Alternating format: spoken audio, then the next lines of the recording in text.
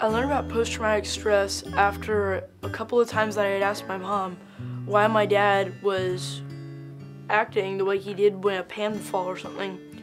Um, I, I would ask her, and she said it's because he gets startled by certain things.